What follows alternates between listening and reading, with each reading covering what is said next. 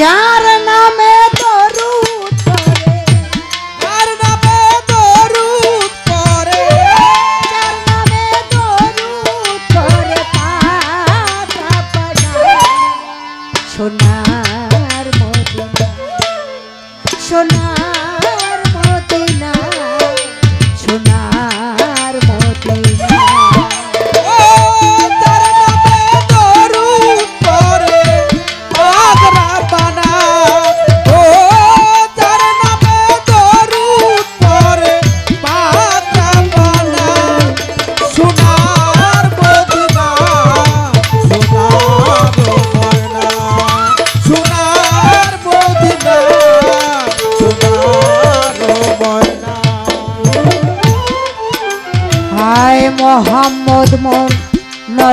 negro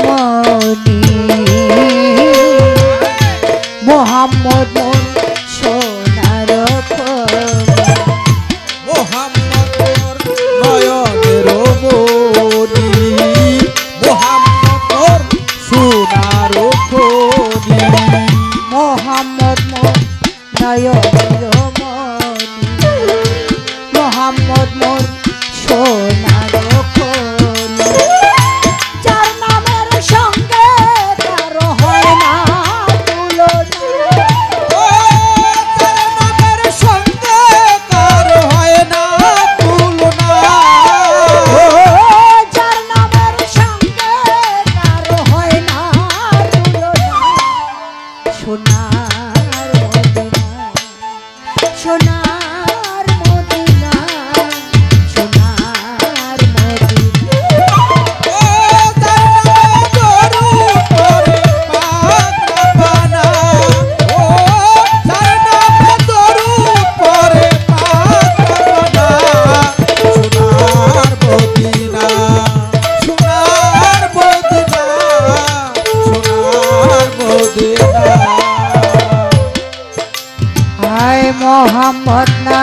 mm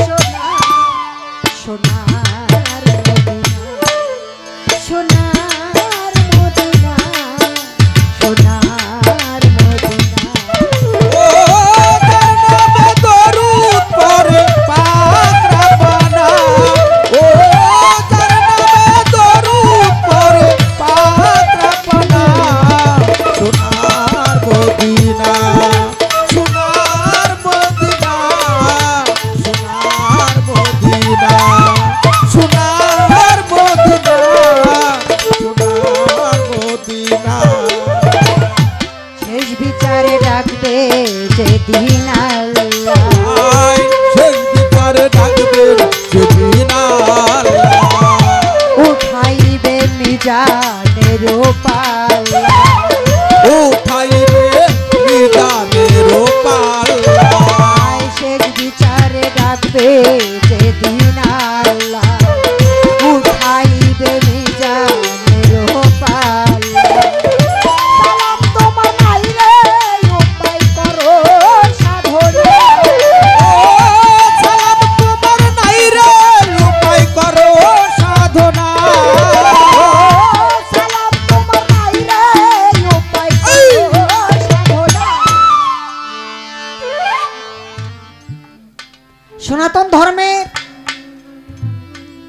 একাদশী পালন করে কি? ঠিক তো? এই একাদশী পালন করার পর পাঁচজন সাধুকে ডেকে বাড়িতে নিমন্ত্রণ খাওয়ানো হয়। একাদশীর পর পাঁচজন সাধুকে যখন বাড়িতে ডাকলো,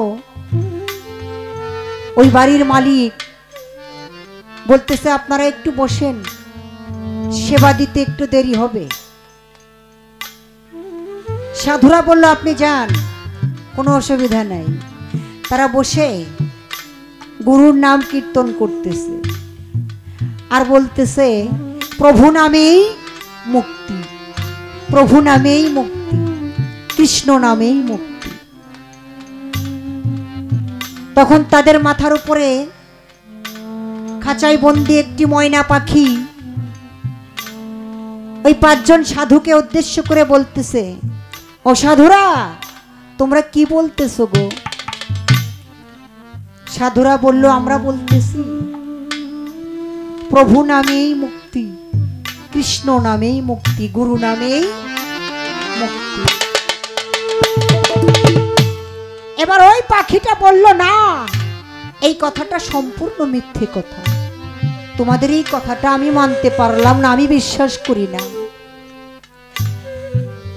এই কথাটা আর একবারও বলো না। এবার ওই সাধুরা একটা ধাঁধার মধ্যে পড়ে গেল।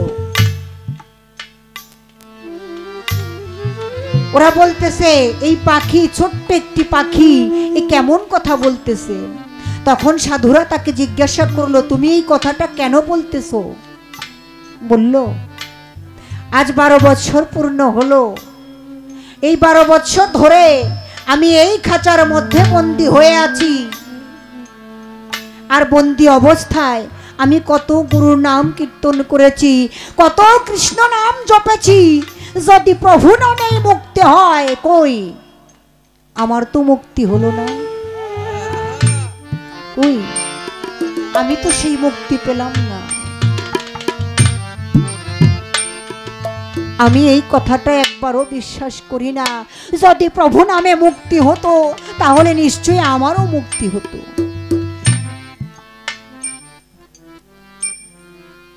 এবার ওই বাড়ির মালিক এসে সাধুদেরকে ডেকে বলতেছে, ও সাধুরা, আপনারা প্রস্তুতি নিয়ে নেন, এবার আপনাদের সেবা দেওয়া হবে।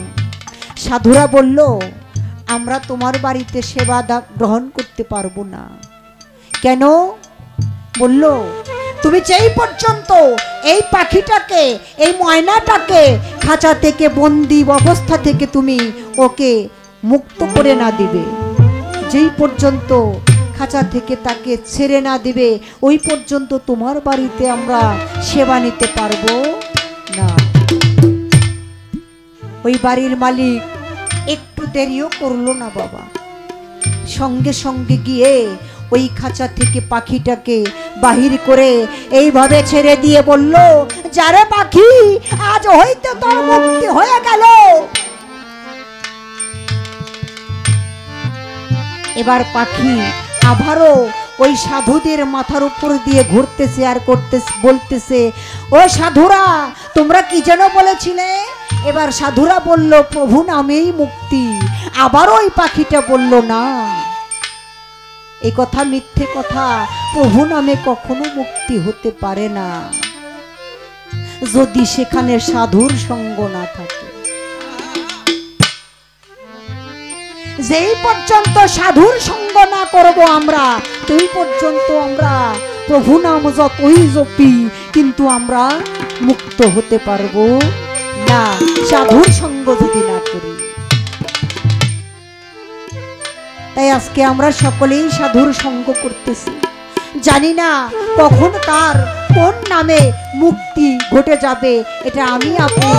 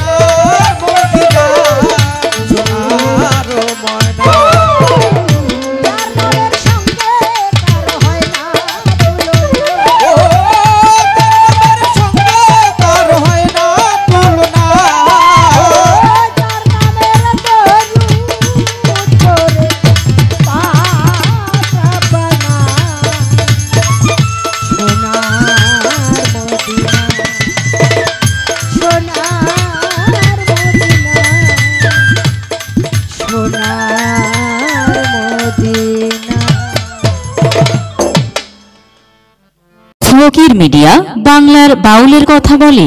নতুন নতুন ভিডিও পাওয়ার জন্য চ্যানেলটি সাবস্ক্রাইব করুন লাইক দিন কমেন্ট করুন ও শেয়ার করুন। ফকির মিডিয়ার সাথে থাকার জন্য আপনাদের জানাই আন্তরিক শুভেচ্ছা ও অভিনন্দন।